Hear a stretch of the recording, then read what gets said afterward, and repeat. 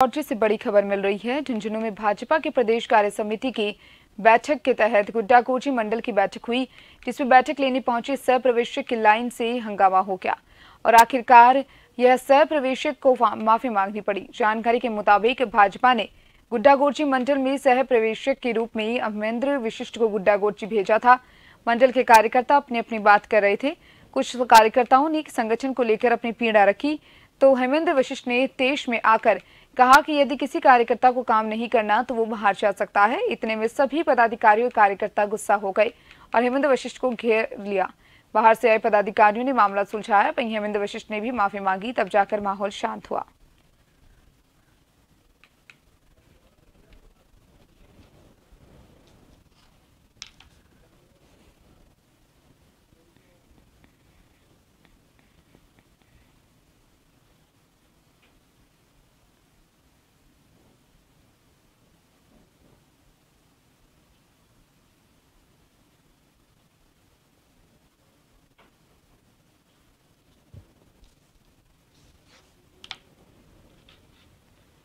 झुंझुनू के मलसिसर में